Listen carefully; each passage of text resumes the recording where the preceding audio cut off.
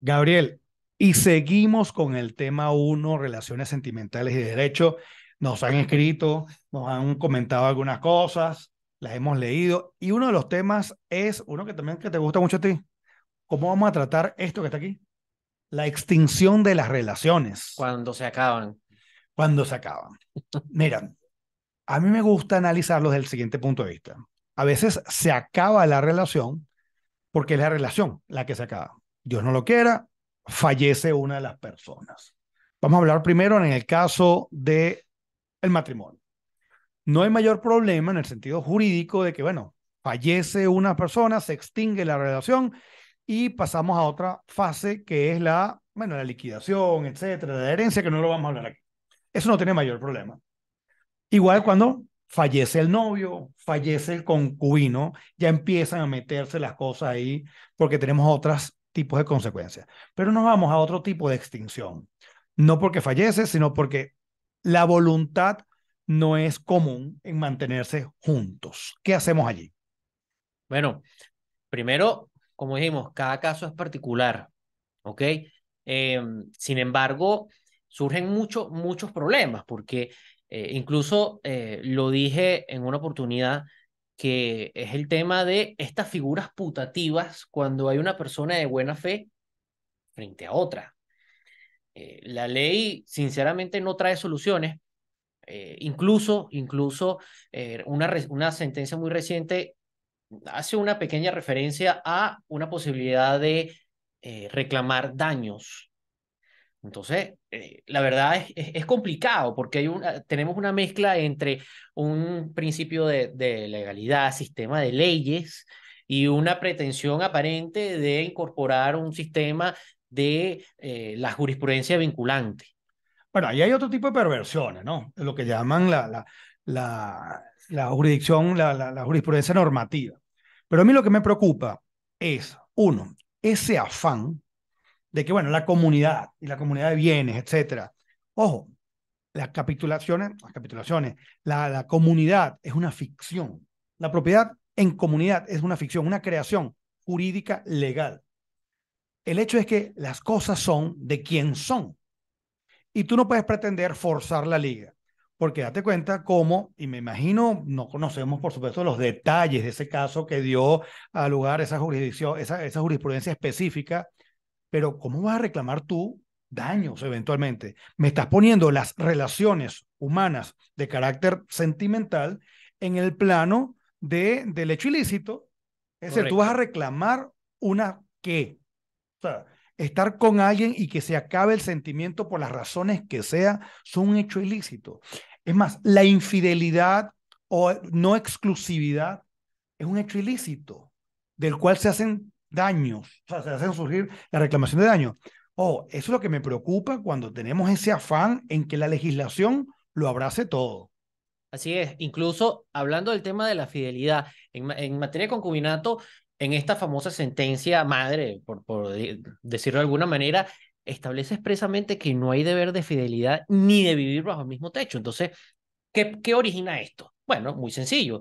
Una persona casada eh, tiene dos familias, eh, una en teoría, en teoría legítima, regida eh, por, por, por una relación matrimonial, pero tienes otra en la que cumples todos los requisitos de hecho para ser catalogada como un concubinato.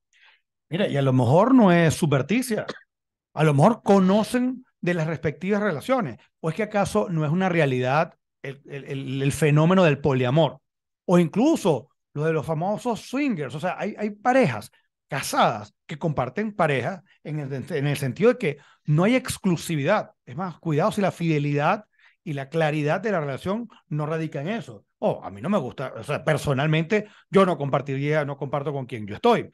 El hecho es que yo estoy es defendiendo es la libre voluntad de las personas que se, se asocian, porque sea noviazgo, sea matrimonio, sea concubinato, no deja de ser una de las maneras del ejercicio al derecho a la libertad de asociación. No, y además que va, como tú dijiste, ya nació poliamor, eh, etcétera, Lusinger, va a llegar un momento en que el derecho va a tener que enfocarse exclusivamente en relaciones y no la va a poder diferenciar, porque es que si, cuando tú pensaste o cuando alguien pensó que iba a existir algo como el poliamor. No, no, en lo absoluto, a pesar de que cuando uno se mete en lecturas más históricas, lejanas, ha ocurrido así. Pero si nos vamos a, a lo medular, es la voluntad de las personas. Y mal puede la legislación sustituirse en esa voluntad. Por eso cuando hablamos de la extinción de las relaciones, y nuevamente, y eso lo vamos a insistir cada vez que se pueda, aquí no queremos dar soluciones mágicas que se apliquen a todos. Quien nos está viendo, usted, que a lo mejor está casado, divorciado, terminaron, están divorciados y alguien este, está saliendo con otra persona o tiene los bienes a nombre de, de usted, pero lo vende su concubino, su esposo, vaya, busque una cita con su abogado, por supuesto, en materia civil. Los abogados perfectamente planteen nuestros temas, lo podemos hablar aquí. No podemos dar soluciones mágicas y únicas a todo. O sea, cada caso, cada, la casuística es específica y hay que verlo, por supuesto, uno, si estaban casados o no. Imagínate cómo se enreda todo esto cuando hay, digamos, bienes en otros estados. Cuando te casaste en Venezuela y te divorciaste en, en Argentina, o casos muy graves, estuvieras incurriendo en bigamia si no registraste aquí y te casaste en otro lado. ¿Qué está ocurriendo? Así es. Entonces, yo creo que hay que, el, derecho y, y, en estos temas tiene que enfocarse en las realidades, que es lo que está constantemente cambiando. Y la verdad es que siento que el derecho se está quedando atrás y no está atendiendo eh, como se debe estos casos que son cada vez más comunes. Uno ve en Venezuela, por ejemplo, eh, que las personas no tienen para los gastos de, matrimonio, hacer una gran boda, o que simplemente no quieren por voluntad y se ponen a vivir juntos. ¿Ok? Entonces, y tienen una vida en común, tienen las mismas características que puede tener una vida en común matrimonial. Entonces, a eso hay que darle un efecto jurídico también. Así es. Y ahorita que estabas hablando de eso, que no tenían mucho en común, me llama la atención porque ha habido unos casos bien interesantes que los llamo yo matrimonios y divorcios de perfil alto. Gente del mundo financiero, este, demandas y contrademandas, reconvenciones, cosas divertidísimas que uno ve este, en los casos del día a día. Eh, bueno, después llegan a acuerdos, firman separaciones, en común acuerdo, pero date cuenta cómo eso, digamos, una, una no sé si tú, sabes de ese claro, caso. Claro, por supuesto. Es súper interesante. Eso es lo que llaman divorcios de alto perfil. Bienvenidos los cuentos y por supuesto, si podemos ayudarlos, aquí estamos.